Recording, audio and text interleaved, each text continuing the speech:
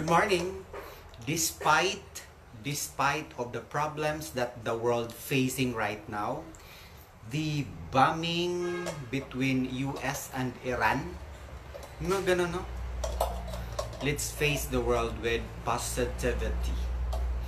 And tawag doon, I would like to say stay safe sa lahat ng mga estudyante somewhere in Mungkayo. Mungkayo. Saan yung Mungkayo? Kasi meron daw, merong ano dyan, merong virus dyan, tinatawag na meningo, meningoku, basta merong virus na kumakalat ngayon sa Mungkayo. I think Mungkayo is somewhere in Compostela Valley. So, ayan po. Wala pong klase dyan. Kasi meron outbreak. Meron akong nabasa eh, sa Facebook. So, ayan. Despite of the negative negative news that is happening around the world, around the globe, let's face it with positive thoughts and perfection. Ang buto sa itong nga virus, ito basta meningo, naas mong kayo. Mo kayo ba na sila niya? Lain ba yung blouse? Nanay mong kayo, ti. Walay klase ang mong kayo. Walay klase. Kaya ka ng outbreak virus. Nabasahan ako sa Facebook.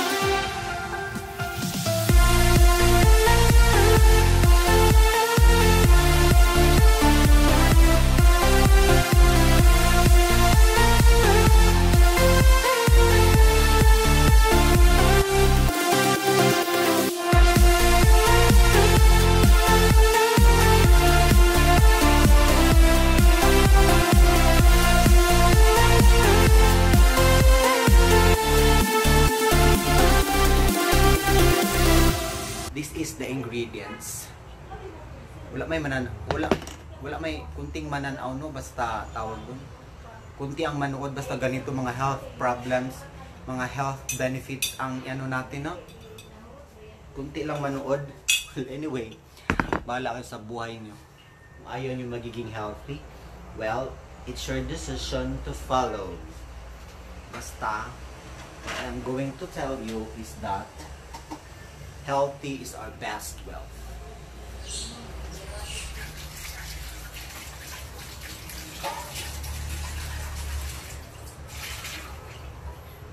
And yes, I'm done. Let's now proceed to the juicing segment. Pakita ko lang sa inyo kung gaano natin, kung gaano natin alagaan yung sarili natin. Kasi yung sarili natin ay siyang humuhulma sa pagkatao natin. At yung pagkatao natin ay pagkatao. Kung gusto niyo magiging hayop, depende yan sa inyo. Basta ako, ang aking pagkatao ay based on records. Based on records. So, ayan po. so, before I would like to start, I would like to say, I'm sorry sa uh, sa ating mga detractors, sa ating mga inggitera, sa ating mga bashers na pinapatulan ko. Hindi na ako papatol sa susunod. hindi na ako papatol kasi ayaw kong ma-stress kayo. Kasi ako, hindi naman talaga ako ma-stress. eh. Kasi po, yung mukha ko, stress-free. Good morning. So, let's start. Let's start the juicing. Hindi mo na ako magbabasa. Wag mo wag mo na kayong magalit ha pag hindi pag hindi ko mabasa yung mga comment ninyo because this live is I am showing you paano tayo magiging healthy. So, I know na maintindihan ninyo pag hindi ko hindi ako magbabasa sa mga comments ninyo. So meron ako mga live na magbabasa ako ng mga comments. Okay? So let's start because this is my breakfast. Unahin natin ang. Carrot. Carrot.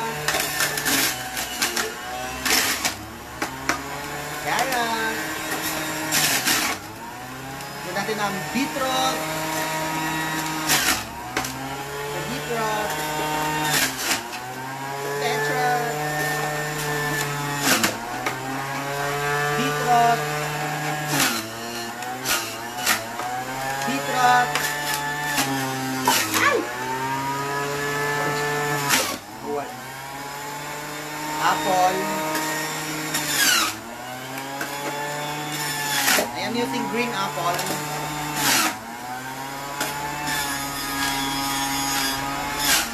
Next is the cucumber.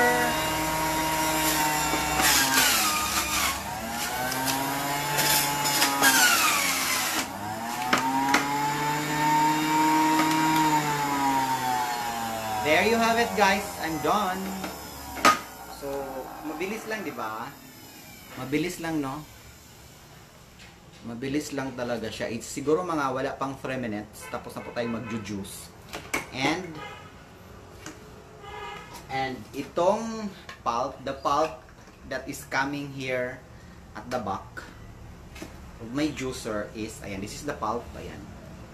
This is the pulp. Ang pulp na ito ay gagamitin kong lumpia mamaya. Ayan. Gagamitin kong lumpia mamaya sa aking lumpia special. Today is Friday. Today is wek wek wek wek end. Today is wek end. Gagawa ako ng lumpia from my from the pulp. Gagawa ako ng lumpia from the pulp that is coming at the back. At the back. Teka, ano ko muna to. And, yes, we're done. This is, ganun lang kabilis ang juicing ko. Using my um, Kalos juicer. Iano natin. So, ayan. This is the pulp. Gagawin kong sahog ng lumpia ko. So, ang tinatawag ng lumpia, this is vegetable and fruit lumpia later. So, magluluto ako later. Ito sang anan. And then, this is the result. This is the juice. So, pag nagju-juicing kayo, make sure na iinumin ninyo 15 minutes bef af, ah, 15 minutes, wala pang 15 minutes. Pag nagju-juicing kayo, inumin niyo wala pang 15 minutes. Ha? Para hindi po mawawala ang inyong tawag doon, ang visa sa juicing well. Anyway, itong ginagamit ko na itong ginagamit ko na juicing na to, ito yung uh, sumisave this juicing saves my life almost 99.9% because as you can see I am alive and kicking speaking in front of you yeah so ayan po Ala. So let's now start to drink okay let's now start to drink this is my breakfast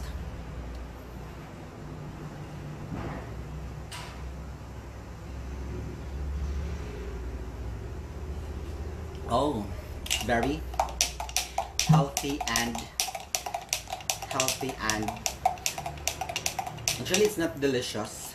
It is not really delicious. It tastes like lupa. It tastes like L. L. Yeah, it tastes L. But the reason, the main reason why I am drinking this because I want to prolong my life. Yes, I know there is a life prolongment. life prolongment. Yes, there is.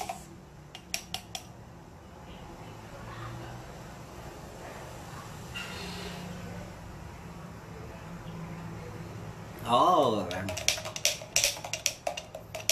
Ah.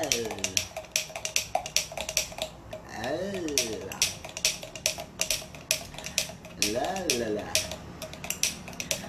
Ah. Pagpasensyaan na talaga kayo. Pagpasensyaan na talaga yung mukha ko ha. Kasi itong mukha ko, hindi na talaga ito mababago. Hindi na talaga ito mababago.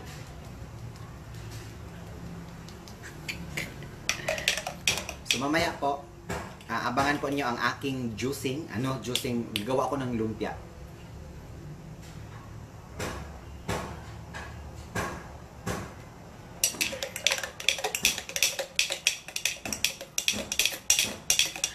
So, for now, I have to say bye because I have to clean my mess.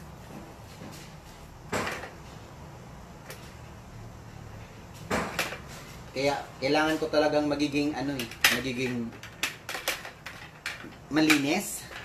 Kasi dito sa room ko, dito sa boarding house ko, lahat nandito na lahat dining area, dining area, cooking area, sleeping area, bed area, veranda. But the good thing about this boarding house, but the good thing I really love this boarding house is that the water one the water is very many. The water is very many. Next, the electricity in Davao, I only experienced one time. Since I live here for about one year ago, I already I only experienced one time brown uh, na nag walang kuryente. Yes, walang kuryente and the transportation is very convenient. Pagpupunta ako sa palengke kung saan available ang aking mga juicing, it's very convenient and the people are very the people are very hospitable. The crime rates in Davao is not that many. Yeah. There is zero crime rate in Davao, in Tagum. Nung ano pa yung mga kapa. So anong ano ninyo? Go kapa, why sirado? Go kapa. Go kapa, why sirado? Apil natin ang Go Regine, why sirado? Ha? Dapat walang sirado, no? Kasi mag-invest pa tayo sa mga ganun pag given a chance. Pag babalik sila, if given a chance na babalik, if given a chance na mag-operate na ulit ang kapa, are you willing to donate? Are you, are you willing to give your donation para maka, maka-receive din kayo ng blessing? Blessing kasi ang tawag eh.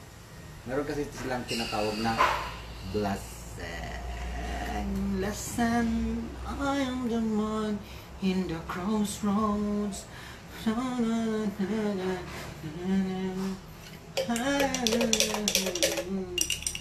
Okay, so let's try to drink na.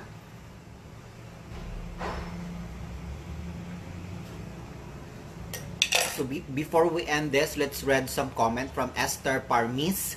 Bayot pink juice urag dili man taste lupang color. Hello po dear Esther Parmis. The taste of this is lupa because the taste of beetroot parang lupa. An lamay, sana mag-open na ulit ang investment. Yes, tama. Virginia Coros Bronson. Good morning, hello dear. Hello dear Vir- Vir- Virginita Coros Bronson. Siya po yung nagbigay ng pamasko sa aking nanay last December. Thank you po, Ate Virginita. So sana pakot lata sa Ate Bing. Ate, siya akin na lang yung headband mo. Well, actually, dear, binigay to sa akin ni Lilia Ruth. Mm-mm. Lila Bakal. So, unsa na imong giinom bayit? I am drinking my miracle juice. Composed of beetroot, apple, carrots, cucumber. Wala wala nga lang wala nga lang ano ngayon celery. Sige na ibabay na. I need to fix myself because magluluto na ako ng magluluto na ako ng vegetable and fruit lumpia for my lunch. Lunch? So, bye-bye! Once again, happy weekend sa inyong lahat. Stay safe and healthy, lalo lang, lalong, lalo na sa mga taga uh, Mungkayo. Kasi may virus dyan.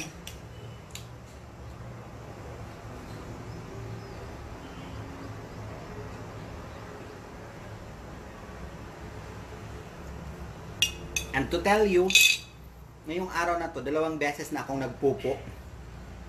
Isang beses kaninang alas 6, alas 6.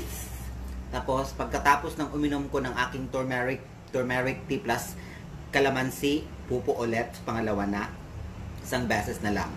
Kasi sa isang araw, tatlong beses akong magpupo. I'm sorry ha sa mga kumakain, but I will just tell you that if you are going to pupo more often, or going to putot more often, meaning to say, you have a healthy and sound and effective va ye va ye Sige na, babay na. Babay na guys. Thank you so much. Once again, happy weekend. Stay healthy sa inyo. Stay healthy po sa inyong lahat. Tuna man salud. Wala po siyang sugar there. There's no sugar. That's the natural juice that's coming out from the fruits and vegetables. Mix with it. Okay? Bye! So mamaya ulit mag-live ulit ako sa aking lumpia making. I-charge ko lang to para mas mahaba-haba yung pagluluto ko sa lumpia. Bye-bye! God bless us all. Stay healthy always.